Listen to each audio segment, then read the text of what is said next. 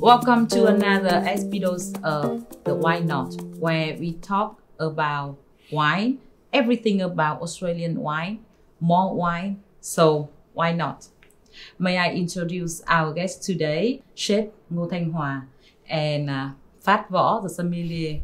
Hi everyone, uh, I'm Ngô Thanh Hòa. I'm a chef, probably about 10 years, but I live in Australia for about 20 years. I moved back to Vietnam because you know I'm Vietnamese and I love to uh, give back to what I have learned uh, back to Australia. I'm Phát Võ and I'm a port committee for Saigon Sommelier Association. So welcome to the Wine Not. Yes, Yes. why not? Why not? More wine.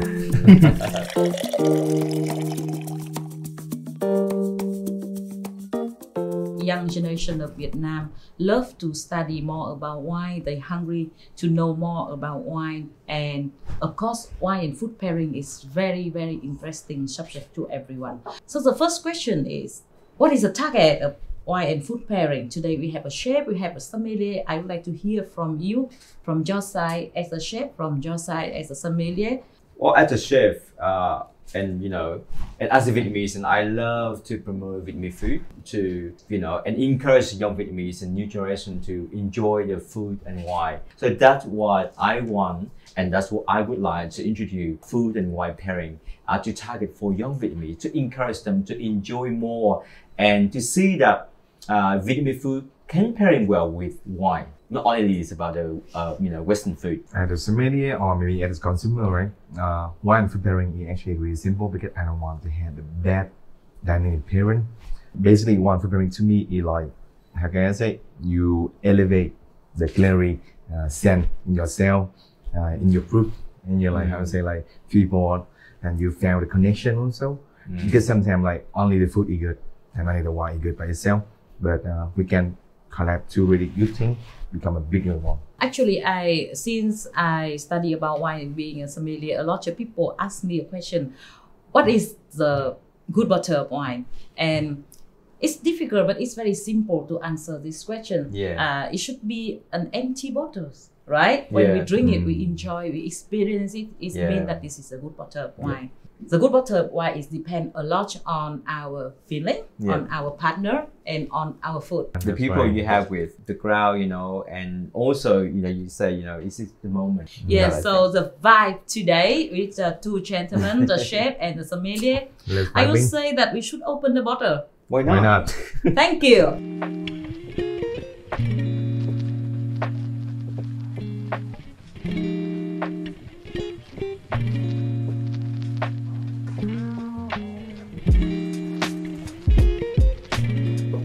so I think uh, we will refresh a working day by a glass of wine first, and Yeah. then Mr. Hòa will choose something to To pair pair with, right? with this Okay. bottle of wine. Alright, I'm let me- Okay. kinda hungry though. let me try. Ah, Ooh. yeah. So beautiful white wine, It's really good. The, the, the fragrance, you see that, right? Very like you like, florals. floralness, very fresh, a bit of brassy in there, but then like Yes. super fresh, no? very feminine, very Yeah. lady. yeah. The, the refreshing, the acidity, like really, really intense stuff. You know, it's just a beautiful wine, and the colors still like really, really nice, like light gold and so refresh. You know, I'm I'm thinking with this wine, um, the dish is going well with. It's just something very light. This one is go well with the summer roll, or you call it cuốn. The dish is like everyone uh, know about our cuisine. You know, everyone you know is everywhere, available everywhere, every corner of Vietnam. On the trees. That's on the right. street. You On can the just grab vendor. on the way Yeah. home. You get a summer roll, you get a bottle of wine, and you have a friend, or even you know, quick to make at home as well. Yeah. I'm a fan of gỏi cuốn too, so let's I love go. To. Let's go. Okay.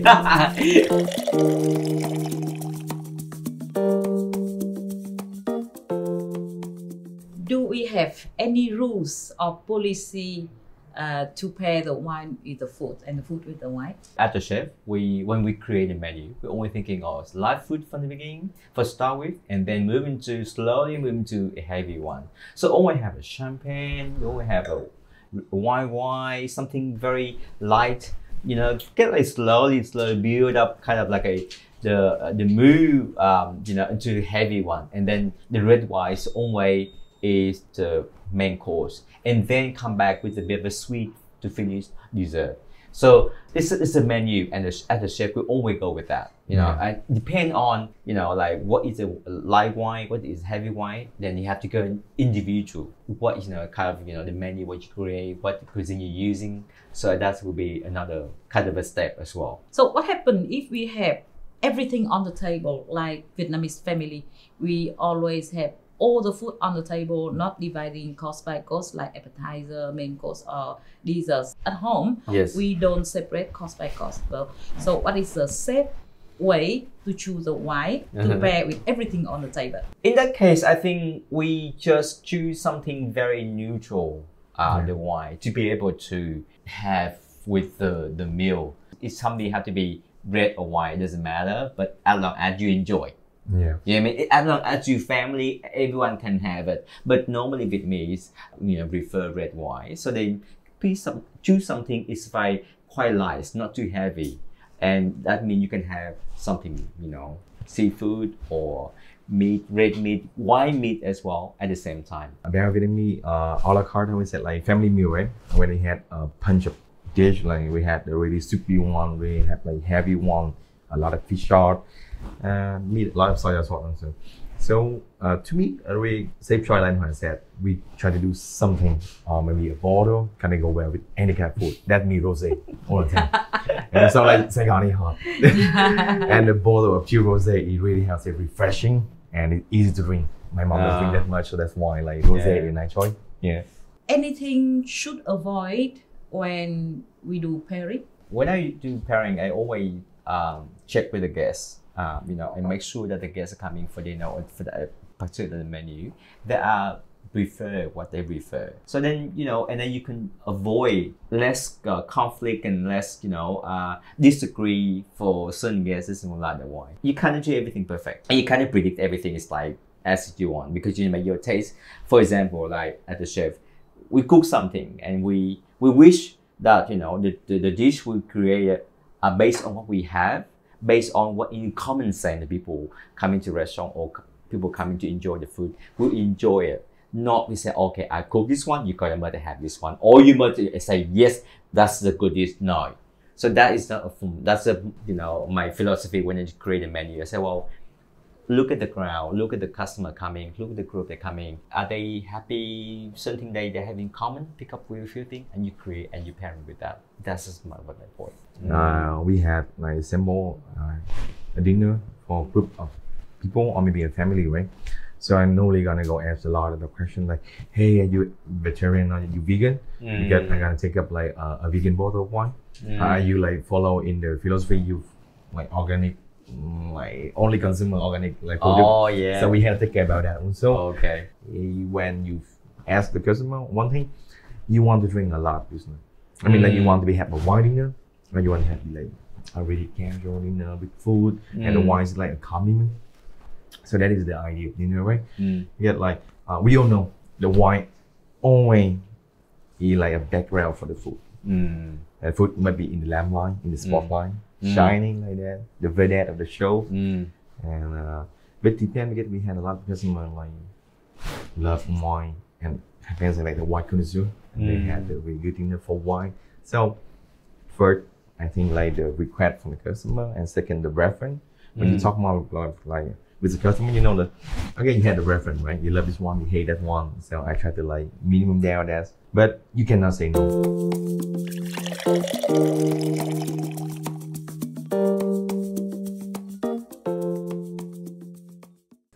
So as you mentioned before, this bottle will go so well with gỏi cuốn. Yes. Let's go and find out. Uh huh. National staple. Yes. Yeah, it's Yeah. a national I'm staple. the I, fan. hope I hope I hope to get my uh, uh, right recommendation, right? So you go first. Okay, lady first. Okay, Um, thank you. You better hurry up because you know I'm hungry now. Right. Just Let's dive in. Yeah. And, oh, got this here. Okay. Have some stock. Oh. Got some stock there. Now, well, cook has your hand because that's the thing, you know. It's Oh yeah, very- Yeah. that's right, that's right. Because the national staple, right? Mm. We don't do it with like chopstick. Mm. hmm, That's so on I'm always feeling so good with gỏi cuốn, you know. Mm. Let me have some wine. Why not, right?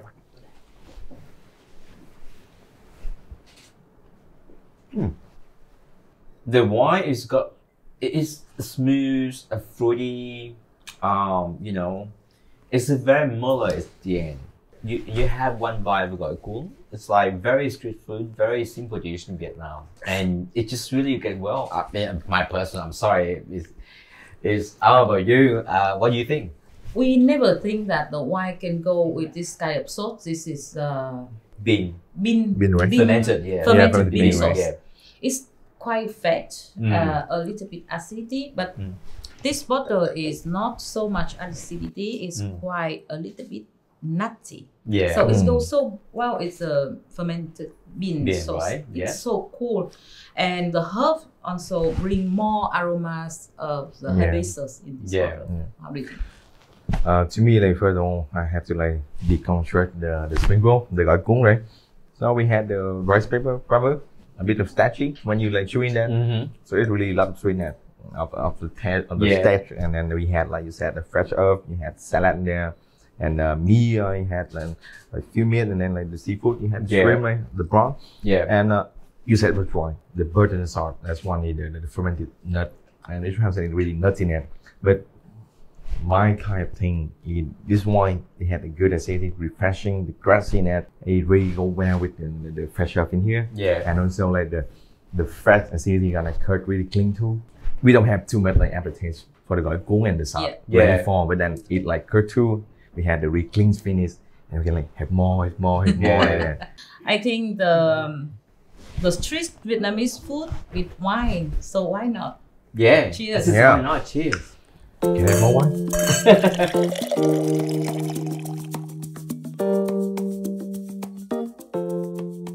What do you think about uh, how we do the wine and food pairing? Is that compliment or is that contract? O- Order the food first, and when you eat it, we get we had a bite glass at restaurant in Yeah. yeah. right now.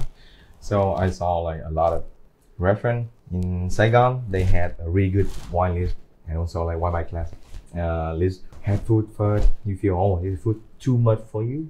Uh, try to do some like contract pairing. Mm. But if you said oh this is a good dish, I want to like have the the, the explosion, the big bang feeling. Try to get the, the wine to do compliment. Mm. That's the main thing. Mm. As a customer, I would like to go to the restaurant.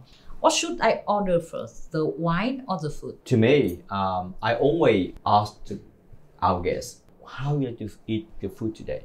What flavor you prefer tonight? Because you know, normally you have a lot of flavor, a lot of things you want to try. You can have the spicy food, you have, you know, it's, uh, light food, you have heavy food. But tonight, what, how you feel, what you want, what you like. From their point, I will create something. I will recommend you something. And that's what I do. And normally we say, oh, tonight, you know, I feel a bit, bit tired. I want some light food. Yeah. All right, I got it. Then I recommend this is like without your foods. And the dish we have, we have a several dishes light food, chief, whatever, and this is the wine. If you are the Mm. consumer, the, It's the a customer, right? Yeah. you go to the restaurant, what you order first, wine or food? It's been like I always follow with my uh, that recommendation. I go for the wine first because how can I say? Uh, I met a lot of waiter waitress. They were so nice, and they said, "Oh, if you like really like this, bottle of wine or this glass of wine, I gotta like get a hint for chef because like I can like reduce the salt, reduce the the, the, the spicy. Yeah. Sometimes we get like right now is that right? We had the modern hospitality, Yeah. and uh, we had the interaction between the customer and the, the chef. Mm. It's not like in the past when you had like the chef in the kitchen, he created amazing, amazing dish, and you just be there and enjoy.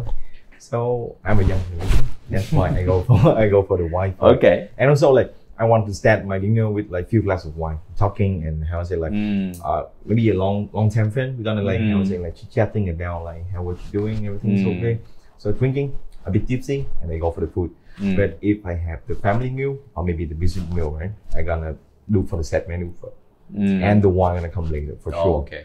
I only go for the compliment to be. We get okay. not every day you had the, the, the dining in the restaurant to. Mm. So when I go out to have a dinner, I want to be like really really big and bold and explosion, like Yeah. emotion, feeling like that. So that, that that's how I do.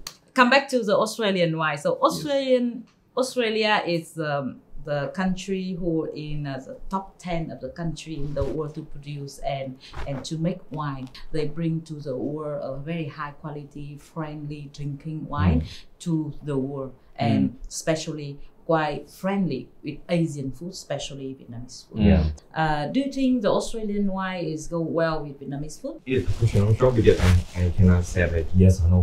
I have to explain, right?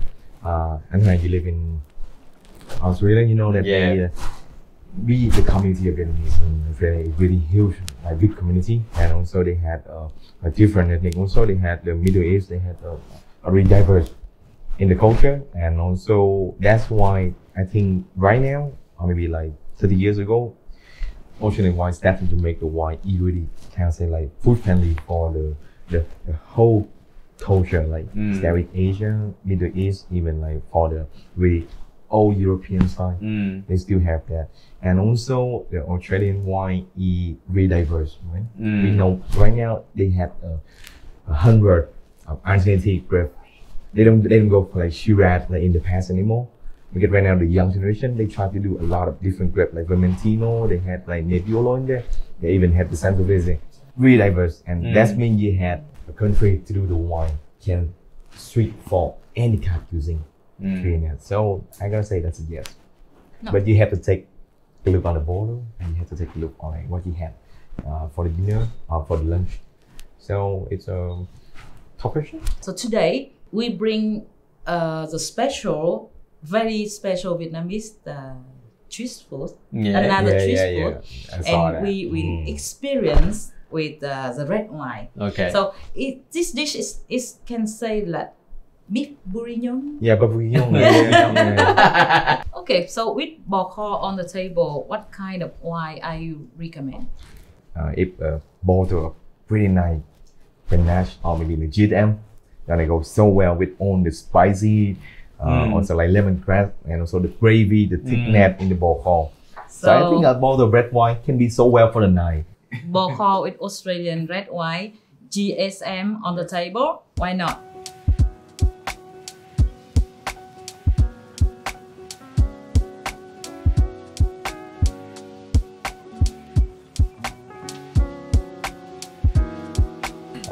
A bit. Wow, I love it. Spicy, but it's like it's always like very easy to drink. It's a smooth. Yeah. Yeah. It's very fruity driven. Yeah. So this bottle is, I think it can drink by its own. It can Yes. drink by for appetizer Yeah. or without food. it's Yeah. fine. So it's not wrong if we say that uh, Australian wine is very friendly drinking wine. It's so it, it is very yeah. It's Yeah. a very friendly drinking wine. But I think I really like about that um, cut GSM blend. This one Mm-hmm. because like uh, we know the Australian wine they they they they had a lot of has it inherit from the other culture. Mm. So GSM is kind of basically French, Mm. really Frenchies one uh, for the blending, but they make it so great. The the, Mm. the Aussie and uh, the Grenache yeah dominant in here, and you can sniff out the, the the candy, the cranberry candy like that. It feel like not too sweet, but you have the candy line there, and it's mm. gonna be balancing with the own the the the fresh or maybe like the spicy uh, from the from the Asian spine here. Yeah. Get like the sweet and spine gonna go so well together. Yep. Uh, the the tannin finish uh is is a smooth. It's not like really tannin, you know. It's not Uh, aggressive. yeah, it's, not the, aggressive it's at all. uh, smooth. yeah, very smooth. Yeah. So let's go with some bò kho and see how it yeah. tastes. Okay.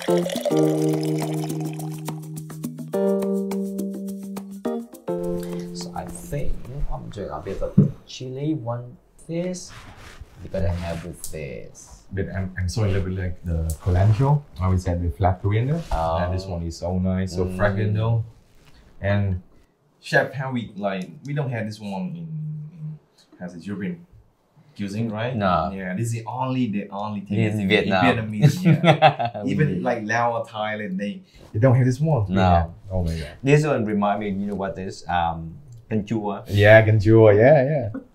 Because the fragrance when, when your mom have a canh chua like in the kitchen and you say like you can sniff it down for like three kilometer away. It's like, Yeah. oh, I know like she having canh chua right now. Mm, yes, yes, yes.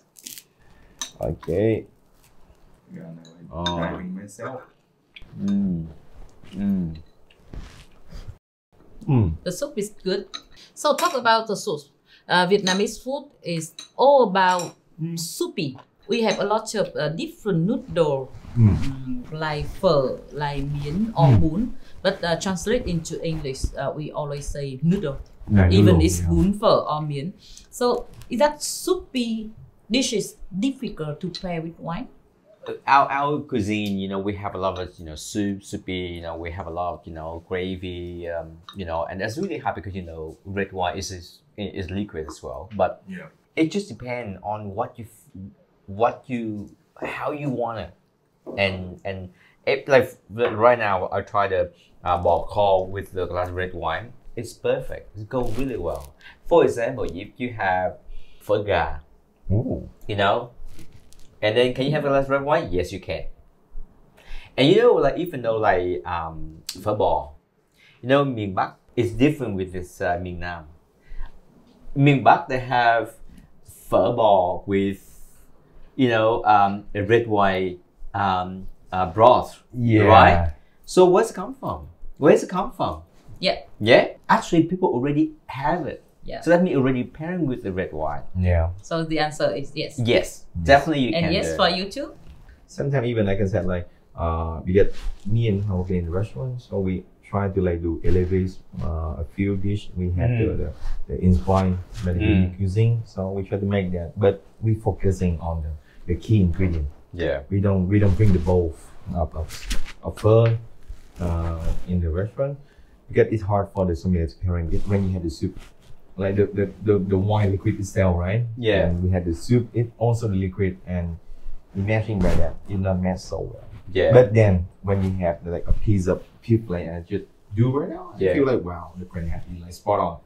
So right now I said yes, but like be careful.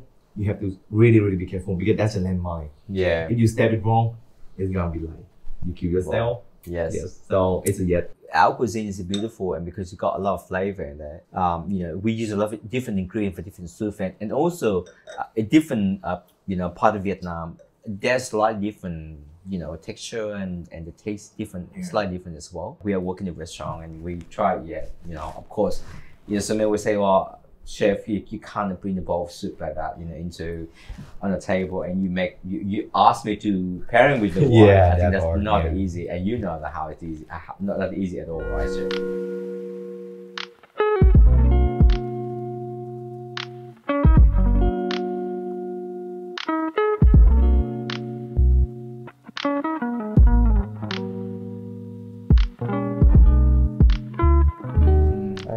I don't want to play with it photo. Hmm. So because of the wine is quite powerful, so Yeah. we need to decant the wine, uh, make the aromas open, Yes. and uh, wait for a little bit, and then we can taste. uh, Okay, this sure. one. Yeah. Yeah. That's a really nice decanter though.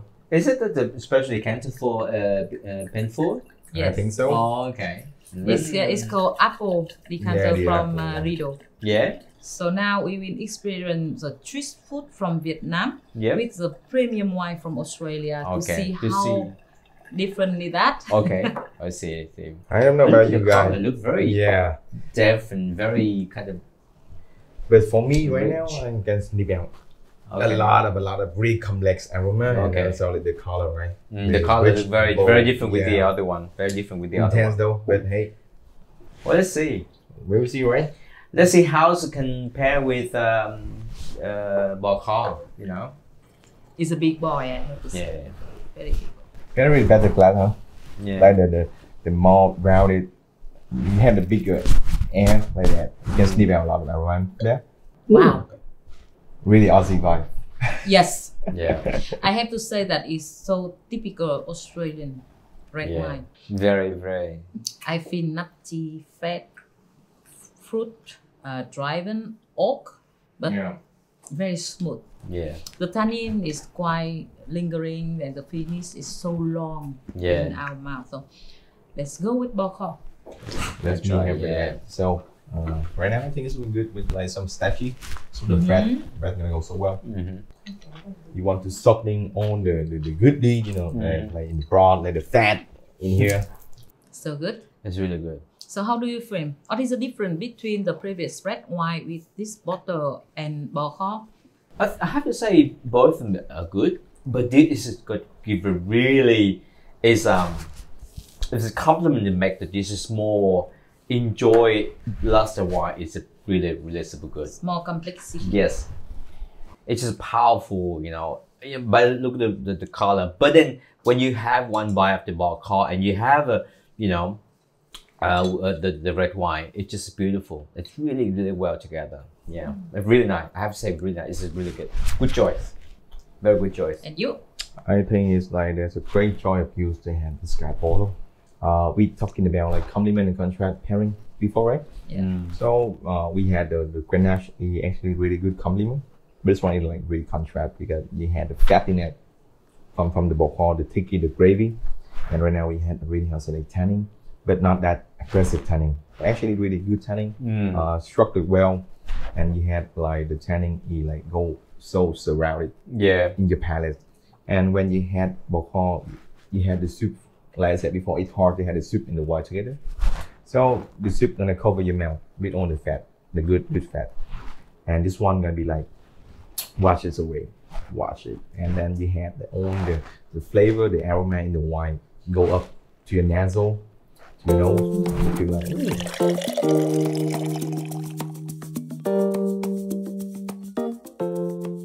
So what kind of wine we will go with the spicy food? To me, with the spicy food, it's going to have if for the white wine, then you go with something very fruity, uh, very you know, okay, light, you know, summery, fresh. Uh, for the red wine, it's going with you know meat, red meat, full of flavor. You know, you can use kind of like this kind of similar uh, dish, but like with more heavier in the in, in, in the, the, the uh, with the sauce. You know, got more spice, and they go well with this one. What kind of wine should go with seafood? I'm, I'm sure you agree with me. Yeah. Is a white wine. Uh, Yeah. You know, a white wine is always go well with a seafood. You know, that's the way. That's Yeah. you know that's the rule. Yeah. really safe though. That. What kind of wine go with dessert one? To me, dessert is something a bit of a sweet. You know, like a uh, wrapped up ending a dinner, a good meal. The dessert wine have to be like sweet dessert, uh, sweet wine. Can be Riesling. Can be something like um, Dry, right? Yeah, it's like it's, it's going well with the dessert. You know, that's kind of yeah, wrapped up to your dinner. So what kind of food will go with white wine? Like I said before, I mentioned before, right? Like it's about the sauce. If you had the creamy sauce, like really has it. You look in the color first. The sauce had to be like white. Like we have Beurre Blanc, we had a lot of sauce, and it's gonna go so well with a lot of Chardonnay, maybe some like Italiano, uh, variety, and we have that in Australia also because they they grow a lot of grape, Mm. different like variety. So I think yes, for the sauce first, but like white wine, I normally go for seafood. Yeah. How Yeah. about white meat? White meat, yeah, I go for the like really has a light body, uh, to medium black uh, red. It's okay, still Okay, fine. Just okay. do the salt. It depends on the salt. Uh, what kind of food will go with red? Red, I'm gonna go with some like gamey. Really gamey like like the pigeon, right? We had like the rabbit and a lot like I'm not great at that, but like I do. Uh, also the beef, I really has a safe choice. The lamb also. Thank you very much. And the last question I would like to ask is, uh, what about the Verzantin uh, in food and wine pair? Mm. Versatile, Rosé. yeah, rosé. oh, rosé is always Maybe the rosé, safe choice for for all the dishes. Say, well, I don't know, red. I don't, I can't uh, drink red. I can't drink Yeah. wine. What in between? The same rosé, and Yeah. now rosé is it become very um po- more popular. It's one day in Australia. Everyone, it- it's very summertime. They love rosé. Yeah. Everywhere you go, yeah, let's get more rosé. But now it's Vietnam. The people get to slowly get to know uh, well about rosé. So and of course dep- depend on the weather. Yeah. If a hot day, hey, Yeah, about the rosé. And where? Uh, Yeah. If we are Like on, you on have the the Barbie. beach. On the beach, you know. Swimming pool? Like that, yeah, you know. BBQ Even like in the backyard when he had the barbie on, right? Yes. Yeah, bring some bottle of rosé. I think Cheers, go. Take So rosé. I think we all agree. Yeah. So cheers. cheers. Cheers. Why not, huh? Why not? Yeah. It's kind of interesting topic and I think it's never end. Thank you very much, uh, Anh Hòa and, and Phát uh, for a very inspiring um, conversation today and, and uh, I wish you all the best. Thank you very much to being with us um, during five episodes of the Wine Not. Thank you everyone to uh, a part of this conversation, and I hope after this topic, everyone will be very confident to pick the bottle of wine and why not.